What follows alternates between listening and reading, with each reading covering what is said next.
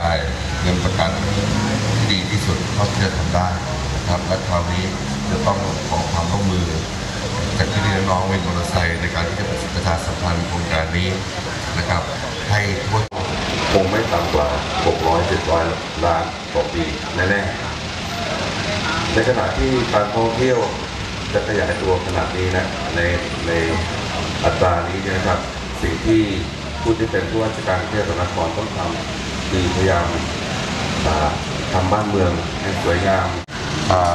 ผู้ขับแท็กซี่ตุกๆหรือว่าอ่าวินมอเตอร์ไซค์อาจจะไม่สะดวกที่จะไปตรวจสุขภาพที่ศูนย์บริการสาธารณสุขหรือโรงพยาบาลของกทมสิ่งที่เราสามารถทำได้คือจัดให้ตรวจสุขภาพเป็นกลุ่มใหญ่ๆหรือร่วมมือกับกับตัวแทนของท่านนะครับกับกับชมรมหรือว่าตัวแทนของท่านในการที่เชิญมาเป็น ควรจะมีชื่อภาษาอังกฤษด้วยนะเพราะว่าบางทีบางทีผู้โดยสาร